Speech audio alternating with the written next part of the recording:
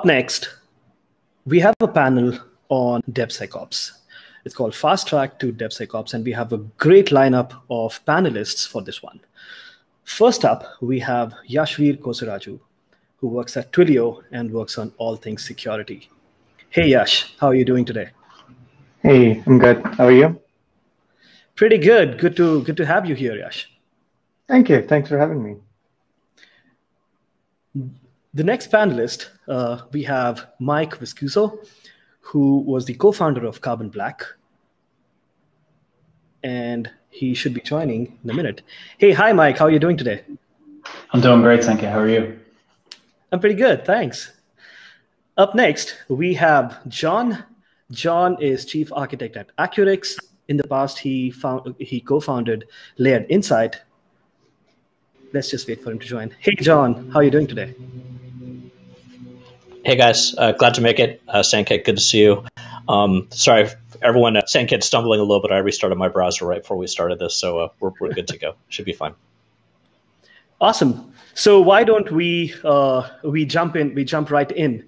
Uh, so we're going to be talking about fast track to DevSecOps, and we have a great bunch of uh, things that I want to talk about. So the first thing, the first question that I want to start off with is, when is it prudent for a startup to start introducing security ops in the development and in, and how early is too early and when is the ideal time uh, in, in in your experience uh, do we need to does a early stage startup need to start thinking about it um, uh, i think i think i, I want to start with john here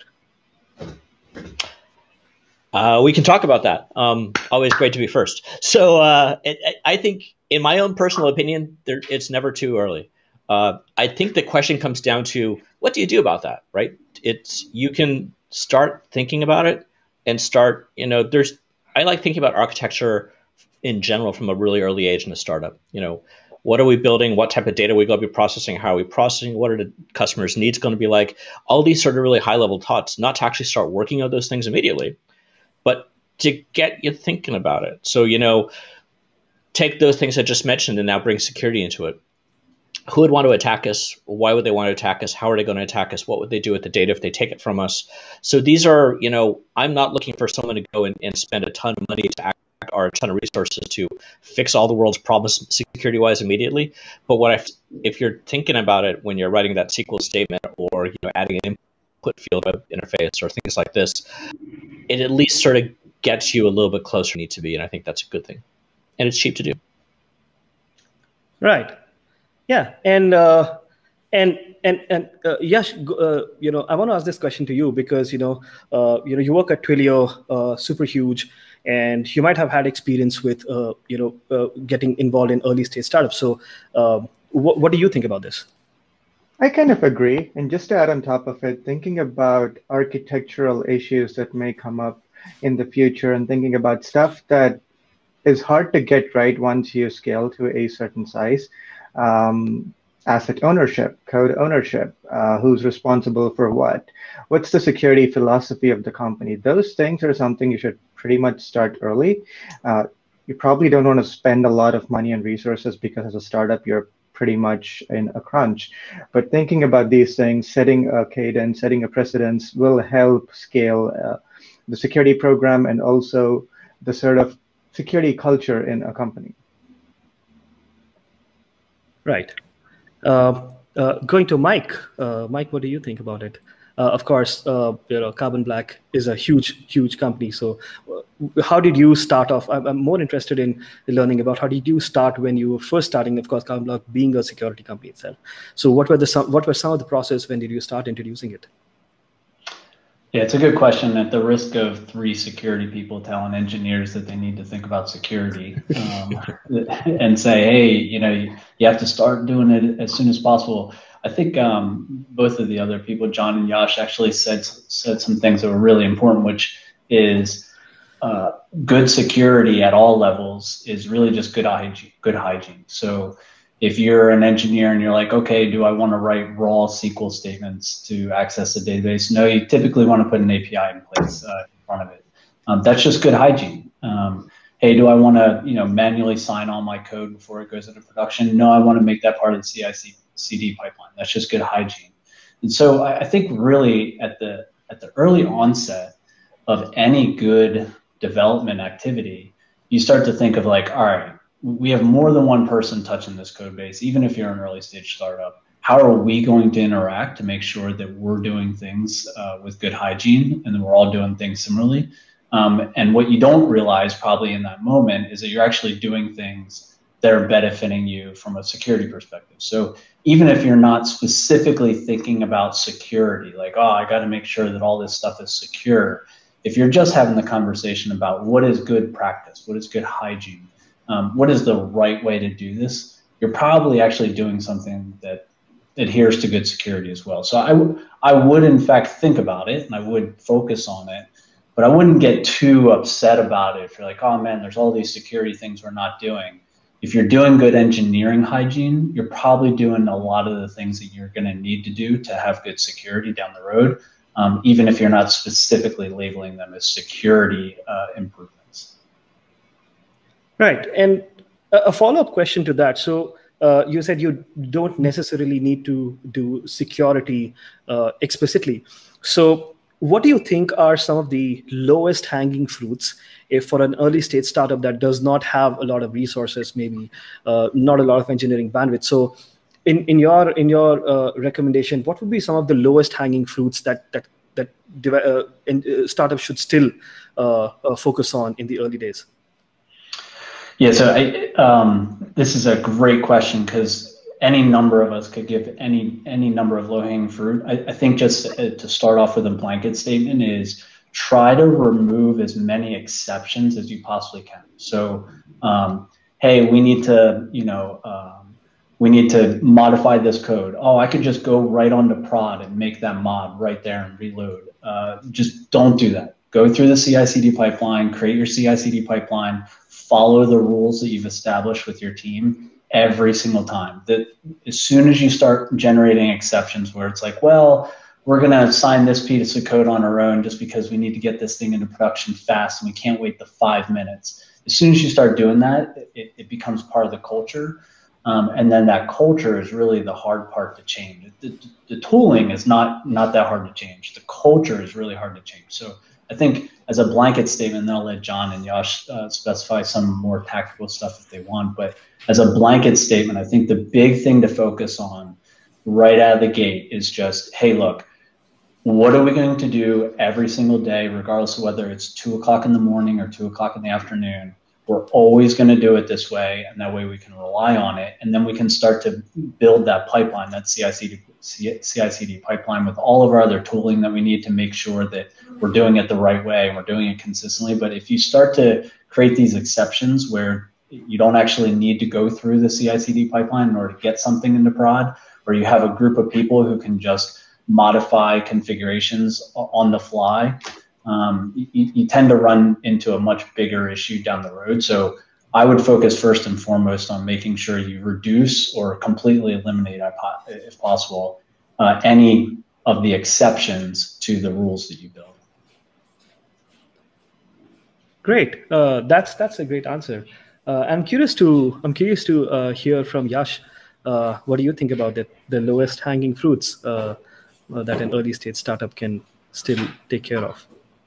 Uh, I would say having minimal processes around things, right, uh, versus having no process, and that kind of alludes to the exceptions as well. So if you have a process, then you know how you do certain things and what exceptions would be. So documenting that and making sure you stick to it, uh, even though in the situation you would feel like, okay, let me just do this thing on the side, which, uh, you know, will become the culture if you let it happen once. Right.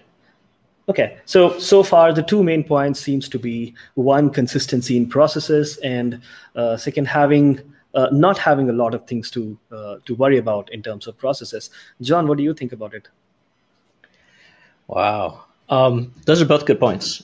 So I think there's a few different ways we can go here. I mean, this question alone right now is, is an hour by itself, right, for all of us to sit and talk. Um, I go in two ways. One, you know, the first thing that hit me up, I'll, I'll come up first. That's supply chain uh, security. So pretty much any language that you know Deeps users or any of us are using nowadays, there's some form of third-party libraries we're including. Um, just knowing that you're using an up-to-date version of that library that doesn't have vulnerabilities in it, that's something that's pretty simple to do, right? Um, there's all different tools we can have out there right now. DeepSource, you know, I'm not going to mention competitors up here, but there's there's many ways it makes it very easy for us to figure out: are we using something that is um, has a known problem or not? And again, as Mike was saying, that should be part of a CI. The, the reason I'm not starting off with something like talking about that aspect of these things, we're seeing stats recently 40, 45% of the industry is not using automation in their build. So that's probably more the legacy enterprise companies than it is the people watching the stream and this this talk. But still, that by itself, having the CI process can be a bit of a, a, a stumble for some folks to get over. So while that's something definitely needed, just you know the application you're day in day out writing from a dev point of view, being able to actually think about what are you using is when's the last time you checked of that library, um, and and just sort of I think that becomes part of that base from the previous question. If we're thinking about some of these initial concepts, I haven't said anything about security, right? I haven't actually talked about any type of testing or stuff, right? It's still really basic concepts a developer can do in their own environment. Um, and I think that can help quite a lot. Right. That makes sense. Um, so, and, and, you know, uh, it's a nice idea to talk about something else. So, uh, there have been, uh, you know, I have been reading about offensive strategies in shifting to SecOps, right? So when specifically when when someone starts to when a team starts to build a security team when a team starts becoming uh, you know sufficiently large enough to have a separate security team um, then a lot of people talk about hey how do we build an offensive strategy uh, in secops?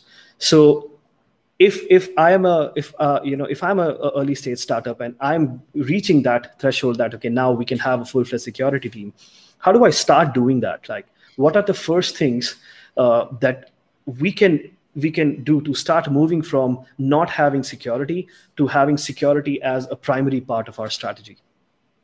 Uh, Mike, do you want to take this?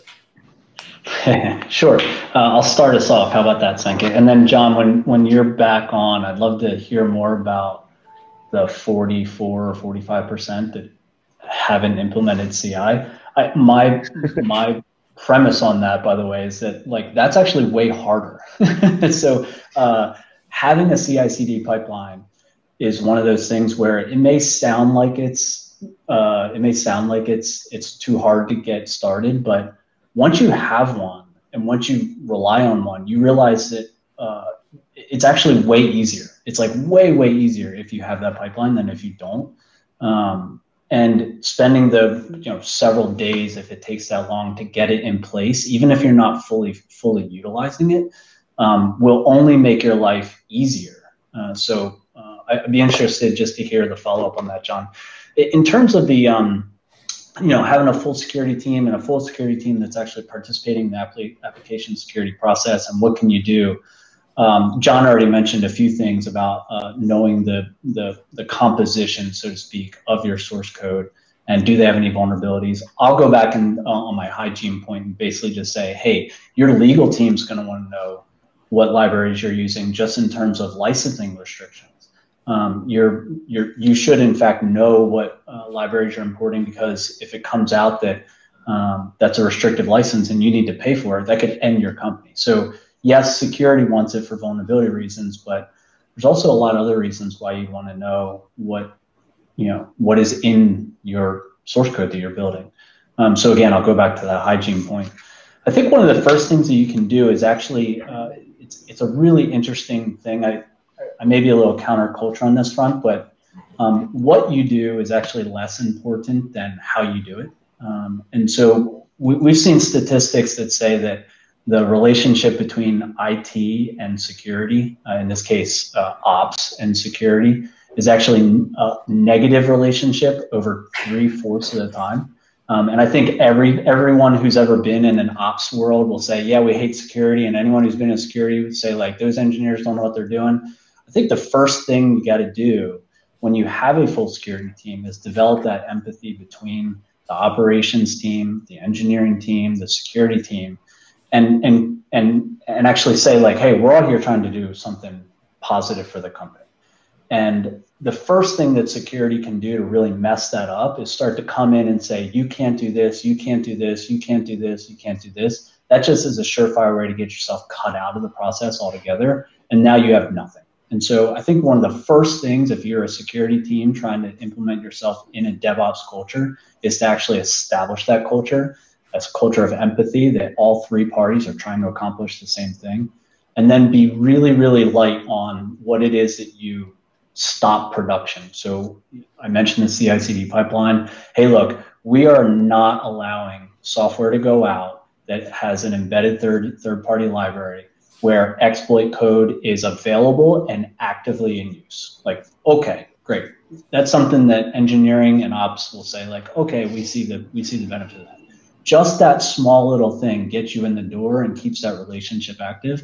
So the first thing that you could do is just uh, get the tooling in place for probably a different reason other than security, show the value of other than security, then actually implement your first stop production type thing. Like as the train's moving, uh, security has a very minimal, minimal amount of ability to stop production such that everyone agrees to it and then use that as your foundation to layer up, layer up, layer up, and try to get a, a, little bit more and more and more hygiene over time. But I've seen a lot of DevSecOps teams fail largely because security is going in and trying to accomplish everything on day one. So my advice would be whatever you do, start small. Start with something that has empathy. Start with something that everyone can agree. We don't want that. That does not represent the type of company we are, the, or the or the company, the type of code we want to produce or showcase to the world, and then use that as your foundation going forward. Right. Starting small uh, uh, and having empathy. I think I think that's a great that's a great point, Mike. And uh, I want to I want to hear what Yash has to say about this. But I have an addendum to that question. Um, so a lot of DevSecOps has been defined as, hey, we are integrating uh, what ops does and what security does, and kind of engineering as well.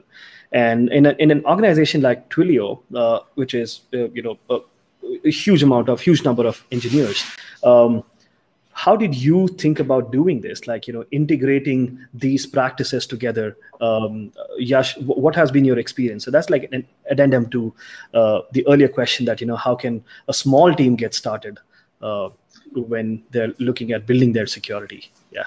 Cool. So I'll take the first part of it. Uh, things to think about or how you can start off with. I'd say also go on a roadshow of like what you're trying to do. You don't want to be the person who on day one says you cannot do this. So you build relations, but you also need to make sure that the people that you're working with know what you're trying to accomplish and what the end goal is. You could go to your ops and say, hey, can you please put in tool X into the CI CD pipeline? But be also sure to tell them what that tool does, what that gives the company, and what that ops person is actually achieving by utilizing their precious time in helping you do something that you want to do. So that kind of visibility slash roadshow slash uh, training, almost you want to say, uh, would go a long way in making sure that people understand what you're doing and why you're doing. Uh, coming to your second question, it also helps with scale, right? Uh, we the two kinds of security practices. One where security comes at the end and does their activities and goes to engineering and says fix it, but that doesn't scale at all. In DevSecOps, you want to make sure that you don't even hit production when there are vulnerabilities or bad practices in code. So for us, it was always the matter of scale. How do we move fast? How do we stop vulnerabilities from hitting production or stage or dev even? Uh, almost think of uh, placing guardrails and allowing R&D or engineers to move super fast. That was sort of our motivation to sort of start putting in all of our tooling in the CI/CD, making sure the false positive rate is as minimal, and we are very, very cautious in what things we block with and what we warn with. Right.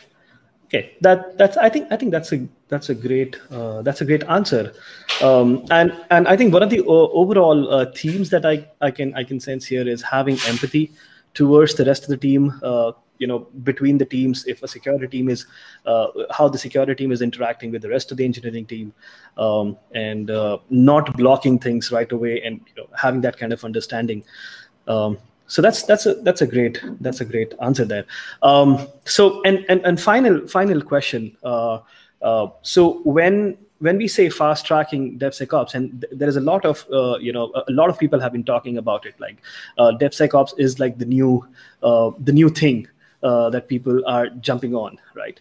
So it's it's like a very uh, very uh, abstract question, but what does that mean? I mean, what does that mean to you when we say, hey, we want to we want to implement DevSecOps now? So systematically, you know, in, in, in a very simple term, what does that mean to you? Like, John, I want to hear from you. Um, so I'm going to take that and I'm going to wrap something from both what Yash and Mike were saying together, which I think is a really, really core part which actually answers that question, which is as a so first, you know, off your previous question, um, and I still have to go back to CI/CD. Let's see how I pull this off. Um, but with this previous question, you know, the way you phrased it, I was going to make a joke around um, talk about offensiveness in uh, DevSecOps. If I walk into a developer group and say, "Hi, I'm from security. I'm here to help," um, we're off to a really bad start, right? That, that's unfortunately with that on, uh, my people don't have a very good, very positive um, image around a lot of companies. Um, and to go a little bit further on that and sort of bring these things together, there was a blog post about two, three months ago by over at Segment.io talking about taking one of his security people, it might have been himself, and embedding them into the developer side of the house. Talk about building empathy. Uh, how can you actually, you know, go on the other side and actually, you know, learn how to code, learn what those pull models look like, doing code reviews, checking in code, actually seeing your bug fixes getting into production, um, and understanding pressure that that particular person is on, and then security comes to them and says, "Hey, I need your help."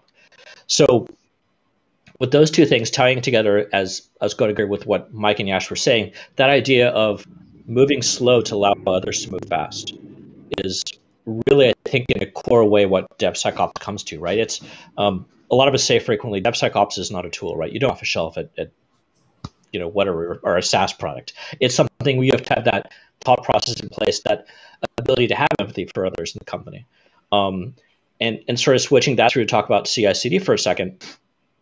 I think what you see there is completely agree with what Mike was saying. It, it's completely valuable to have any form of automation which can help you along that process.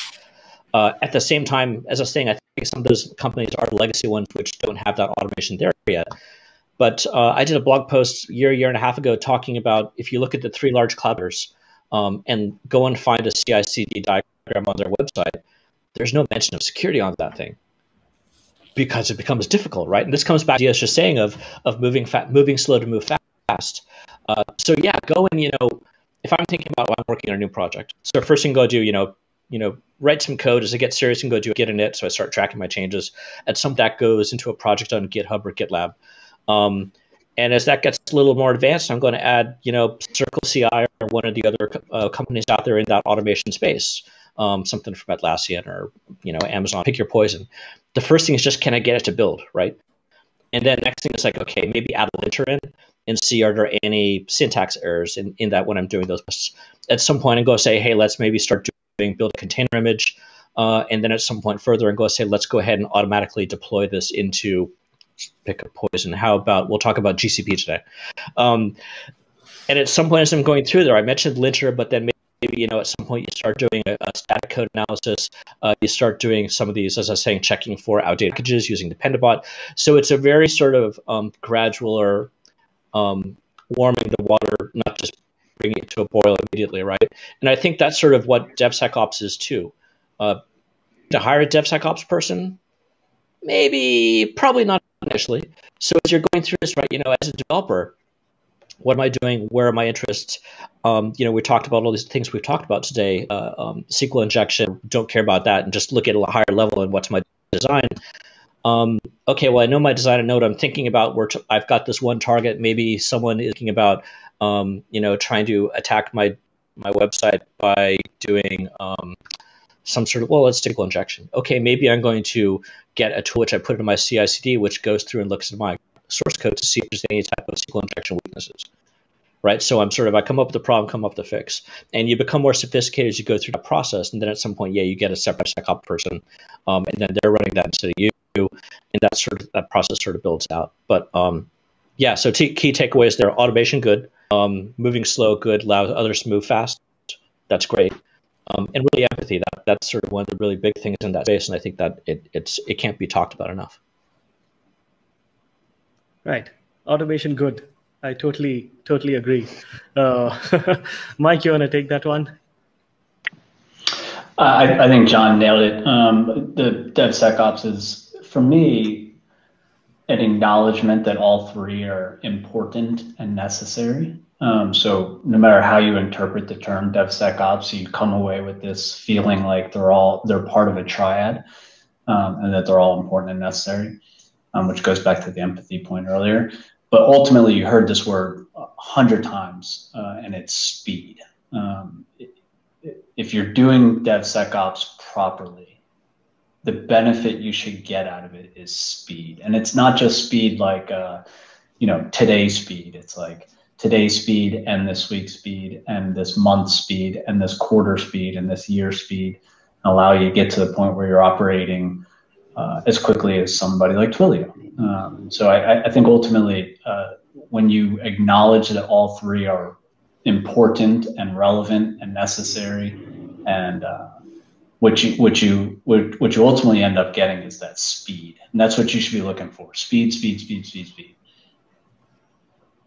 All right, and uh, uh, for the last time, going back to Yash, uh, Yash, what do you think about it? So so far we have automation good and empathy and moving slow uh, as well, and then Mike uh, said speed, speed, speed. Uh, uh, what, what what do you think about DevSecOps in in a nutshell? To add to all of these good points, right? The only thing I would add is like celebrating small wins. Uh, and I think that's important because you're essentially in a DevSecOps process, you're adding friction to engineers and to celebrate those wins and say, look, we did this and this is what we got, and make that a process where you add every single tool, slowly make it uh, in a blocking form, and then celebrate those wins. That helps keep the momentum going. Right. Uh, one more thing I'd add quickly there is, and something this is, this is something that I've been thinking about. It's very easy to say block on X, Y, Z, and all of these things for engineers. What we do at Twilio is we put those restrictions on the security team's practices first, and then we sort of roll it out to engineering. We kind of make ourselves the scapegoats for our processes and blocks. For example, if there's a container scan and block on X policy being fired, we do it to our tooling first, our code first, and then fine tune it and then see what works, what doesn't work, and then go from there. I think that uh, doubles down on the empathy piece of what we spoke. Right. That's. I think that's a great. Um, uh, the last point. I really like the last point that you first implement things in the security team before asking the rest of the team, the engineering team, to implement it. I think that's that kind of rounds up to the empathy again, as yes Yash said, the empathy point. Um, I'm going to pause here and wait for the questions. Uh, if you're watching this on YouTube, you can uh, just ask questions on YouTube. So I'm going to pause for a couple of couple of minutes. Right. I don't think we have any questions. So uh, thanks a lot for for joining, and thanks a lot for your time, Mike, John, and Yash. Uh, really appreciate it. To our viewers, uh, I'll be back with Paul, uh, Paul Biggar from uh, Dark, and I'll be back with a fireside chat. See you soon.